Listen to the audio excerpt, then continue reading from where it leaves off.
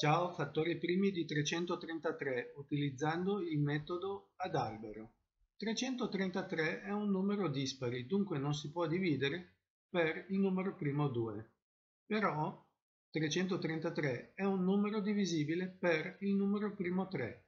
Lo sappiamo perché se sommiamo le cifre di 333, ovvero 3 più 3 più 3, otteniamo 9 che è divisibile per 3. Ciò significa che 333 è divisibile per il numero primo 3. Infatti 333 diviso 3 dà come risultato 111. 111 è un numero dispari, dunque non si può dividere per il numero primo 2. Però, anche in questo caso, possiamo osservare che 111 è divisibile per il numero primo 3.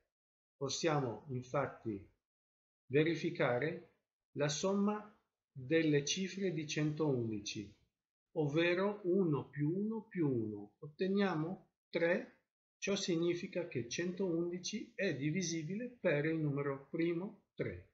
Infatti 111 diviso 3 dà come risultato il numero primo 37.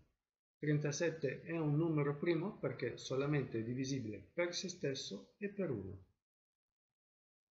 Adesso possiamo evidenziare tutti i fattori primi che abbiamo ottenuto.